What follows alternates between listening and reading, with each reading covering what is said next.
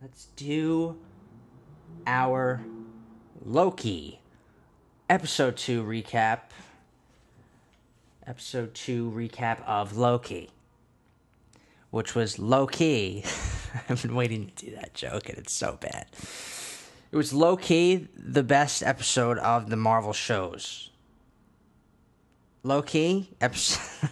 spoiler, spoiler filled recap as usual. Let's let's go. Let's just kind of break down what what happened and uh, what I thought real quick, and we'll just and we'll keep keep things moving kind of smoothly if we can. You know, it's um.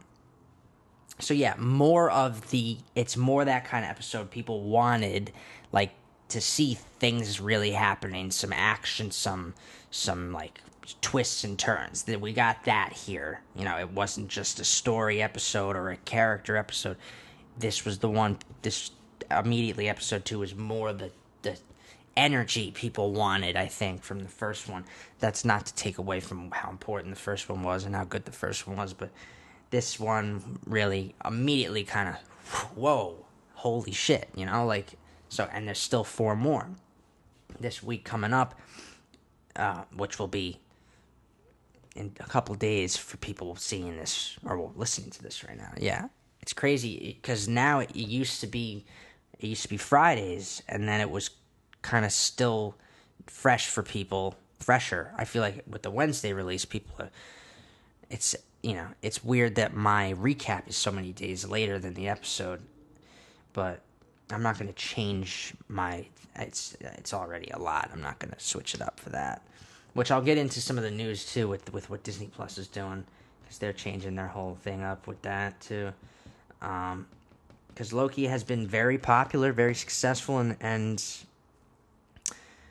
and it's it's a long time. It doesn't it feel like it's been a long time coming for something like this? Like a, I mean, Loki has such a, a an invigorating, like wild energy in anything he's in that we yeah a, a, story centered on him just it makes it it's it feels like something we've needed and i felt that this week just that in and the humor too the humor the the uh, the mischief right the uh, the plot twists the weirdness right all that comes into play with a loki centered series or story whatever and I love I love this. I really do. It's it's it's a, it's moving up and up the list for me. But this one also played more with the dynamic of just Loki and and Mobius, I think, which was great because Owen Wilson and Tom Hiddleston's uh, and uh, chemistry, their their dynamic, the whole thing, I really love the two of them, and they work so well together. And I think I think that's where obviously it's where most of the laughs come from. I was laughing uh, there were some good some good moments there, but also just playing with the idea of two characters that that are so different from each other, yet still kind of that they have similarities, but they're different perspectives. Which we get a we we get a, I think the scene between the two of them where they just kind of exchange their perspectives and express their beliefs and what motivates them and, and their what they believe their purposes are, right? Uh, just the the kind of exchanging of perspectives between each other was the most important scene in this episode. Story moment, plot moment. Now, character moment. Plot moment was the twist. There was obviously the twist, which was the most important. The reveal, I guess. Not the twist, but the reveal uh, at the end of the episode, which is obviously very important scene. But I think in terms of character, uh, low key. See, there it is again. Low key. Uh, low key. Hey, stop. No. Donut. You're distracting me. Stop growling. There's nothing to growl at. Come on, kid. What are you doing to me here in the middle of this? Hey! Don't make me yell. God damn it. Hey, it doesn't matter. I could I could do that all day. She won't stop. When she's got it in her head, it doesn't matter. So apologies for the growling if you can hear it. Sometimes I feel like it doesn't matter. I'm I hear everything, and then when I watch it later, it's not as loud as I hear it. Uh, it's still distracting me though. Um, yeah, so I think that was low key in this episode the the most important scene. Um, and then they started to dig deeper into how everything works. They were throwing phrases around, sentences like words to kind of explain how this all works with the sacred timeline and like variants and all how this and it got a little I'd have to go through it again to really kind of try and grasp it even more but I think I'm still pretty much on track with how that works from what I said last week that pretty much I'm still not 100% obviously I, I'm not sure if I'm right about this idea of there being multiple realities already, but then how can there be multiple Lokis, which they fully open the doors on here? We see literal holograms of multiple iterations of Loki. Where are they all coming? Is it is are they all created through events that are that are that come from Nexus moments, like points where variant where where Loki? It it doesn't seem like it. It seems more likely that there are multiple realities within one sacred timeline. Uh, but the thing that the TVA fears, you know, is this idea of creating this chaotic, like super multiverse where where a bunch of branch realities kind of just, and then it causes the kind of destruction of everything. Um, not that's not, not to say that that's one hundred percent uh, how that works, but but that is exactly how Lady Loki, right? The reveal. Donut, please stop growling. Please stop growling. Dogs, man. It doesn't fucking matter what you say. And what is it she even hears, man? Someone walking for a second. Come on. Uh, it's actually distracting me from being. Fuck, man. Um. Yeah. Oh, Jesus Christ. The, uh. Yeah. That's the big thing that the TVA wants to prevent is this idea of like a big giant multiverse. Um, and we learn who the variant is, which Loki it is, and it's Lady Loki. It's the female version of Loki from. I mean, it's got to be from another reality, right? This show is kind of showing us that there's the potential for multiple iterations of every character we've ever met. Is that not what we are learning here?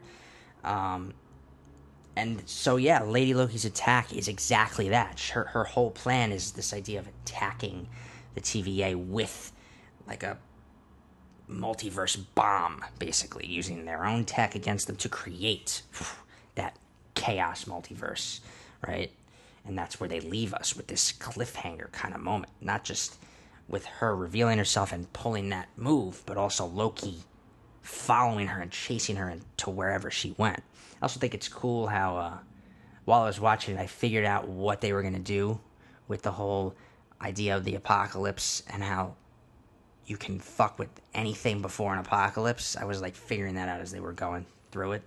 Um, yeah, this idea of the apocalypse where you can you can jump into a time any time before a natural occurring apocalypse and fuck with anything, and it's not going to create a, a nexus moment. It's not going to create a branch reality because everything gets destroyed. You can do anything you want right before, and that was so that was cool. That it makes sense too, right? Um, makes you wonder how. It also just makes you wonder, like all the events we've ever seen, ever in the MCU, how many like variants were hanging around, like just popping in. How, was the TVA around for things? Like, well, it just makes you think about all that kind of stuff. I mean, we already saw like how time travel. I mean, as soon as it's invented, and and to say invented, by the way, is is I mean, we just all assume Tony Stark. Wow, he invented time travel, but it's the TVA is like well beyond any technology that Tony Stark invented in Endgame. Like they already do that kind of. They travel through time and do stuff. all the time. So, um, but but in Endgame, this idea of them being there, um, was immediately something we all thought about. But it, it's not a, it's not even like that, right? Because when you go back in time, you immediately anything you change immediately creates a branch reality. And the TVA didn't get intervene. They didn't intervene with the Avengers because the they saw they could see the future that the Avengers that Captain America would go back and fix everything so that there are no branch realities. There's no nexus moments that they accidentally create. Um, smart that they knew how to f- keep that from happening without even knowing exactly what it is or or I guess what it's called, the terminology of it that the TVA uses. Why does that matter? The, the terminology. They knew not to fucking leave things the way they were because they would create a whole bunch of. The thing is, yeah, it's crazy too because they do accidentally create a Nexus moment when they let Loki escape, which leads to this sh- story now. Um, that was a Nexus moment, and uh, it's crazy, man. This fucking Lady Loki seems to be. She could very well be the superior Loki. And this bothers the shit out of Loki, as we have seen. Like, she, he, he wants to uh, pursue her more than anything to just kind of figure her out even more and see if he can potentially he it bothers him that he can't be the superior Loki. You know, he's he's been unable to outsmart this idea of like their fate to the Loki fate is is destined to fail. This idea that you'll always be a side character in someone else's story who just comes in and messes things up and then inevitably inevitably fails is something that Lady Loki and our Loki is trying to kind of break the trend of. They they'd rather actually be the heroes of their own story for once and succeed and so there's a part of Loki, I think, following her in to wherever she goes at the end of that episode. Is part of it is I'm following I'm following a version of myself that that could transcend all I've ever done and been. And maybe I can learn to actually succeed for once if I follow this path of, uh, I don't know, um, I guess superiority or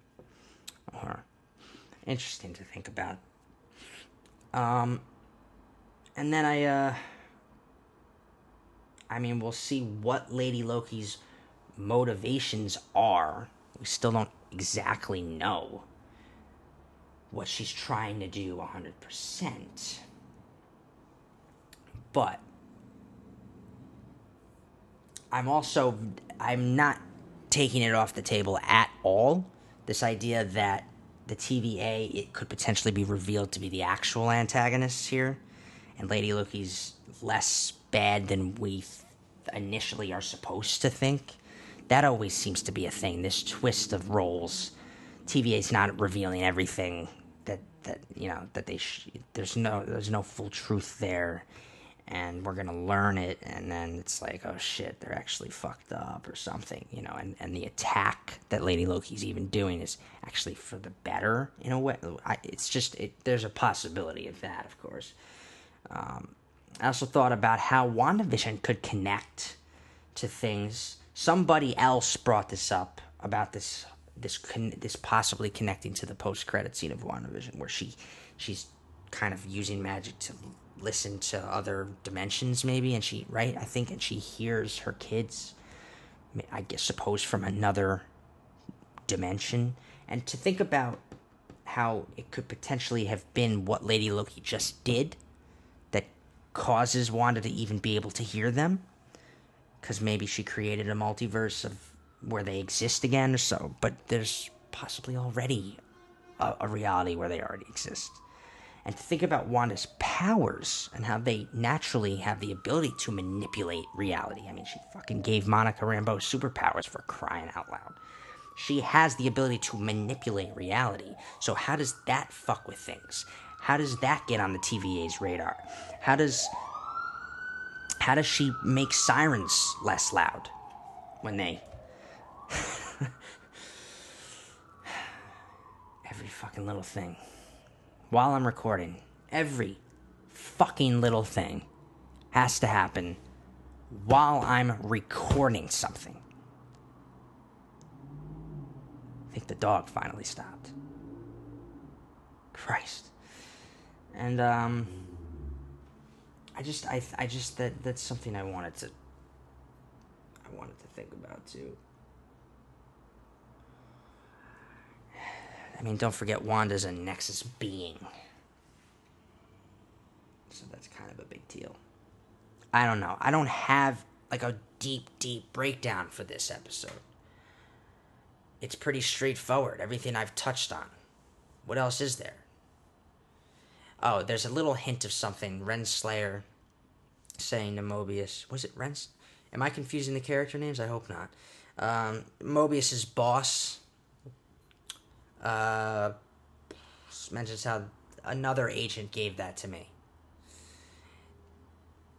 In the comics, Mobius turns out to be like a bunch of Mobiuses, like clones that the TVA uses to do its jobs and shit. I'm curious if it's actually another Mobius that gave her that that was it the pen they were talking about? Yeah. Uh what else happened in this episode? I loved that whole fucking Pompeii sequence was hilarious. Um and then there's a chance that Kid Loki was already hinted at. The whole thing with the candy is consistent. Like this whole thing with the candy made me think that our variant's Kid Loki and it ends up being Lady Loki. But Kid Loki is important because he ends up being a super important, legit full time member of the Young Avengers. And um, I just, we're to see him. We're to have to see him. And we'll see how that plays out. I think there's a chance the candy hints to a youthful energy a youthful character, therefore Kid Loki possibly hinted at. Uh,